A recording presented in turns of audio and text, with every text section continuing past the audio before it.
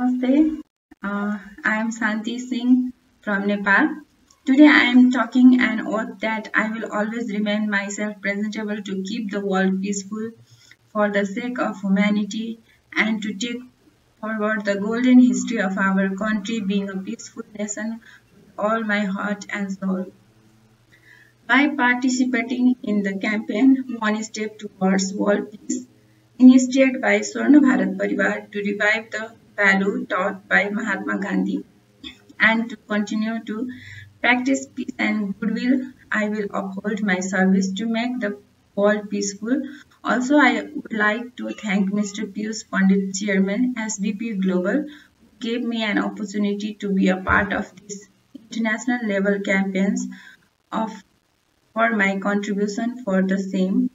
I am grateful to Swarna Bharat Parivar that they have selected me for Global Gandhi Peace Award 2020.